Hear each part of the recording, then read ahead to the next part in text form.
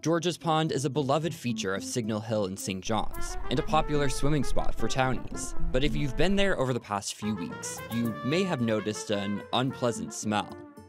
Kind of like broccoli, or asparagus, or cabbage past their prime. Whatever it smells like, it's weird, and swimmers are taking their concerns to social media. Most of them have the same two questions What's causing that nasty smell? And is the pond safe to swim in? There is a lot of things that can cause taste and odor or smell issues in freshwater, um, but algae could be one of the culprits. And most algae create compounds that cause odor issues. It just depends on the concentrations or the densities that they get to in the pond and if conditions are ripe for them to get to those levels. And then there's also just decomposition that can cause smells in ponds.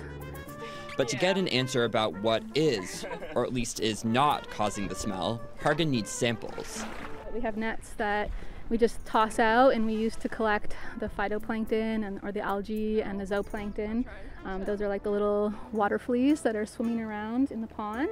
And we have a meter that is on a long cable that we can put down and look at how the oxygen changes going from the surface of the pond to deeper. Then it's time to bring the samples back to the lab.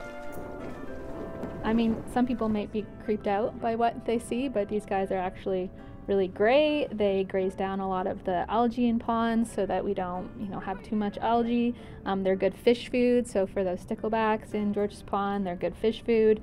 Um, yeah, they're they're a good sign of a healthy ecosystem. And they aren't responsible for that smell. Next, it's time to look at the algae. So chrysophytes are kind of the common cul- culprits for causing that smell for causing smell on lakes. Um, this one, Uroglena, does have publications for smell. So most of them are more of a fishy smell or cause more of a fishy smell, which isn't what's been described, I guess, at George George's Pond. So um, they do cause smell, but I don't know if it's the, the culprit here. So I think more likely that this broccoli smell is probably just a bit of decomp and sulfur being released because often if you have decomposition, you have sulfur, and that's what creates what's more more often described as a cabbage smell. So it isn't a definitive answer. Hargan says that would require regular monitoring and testing.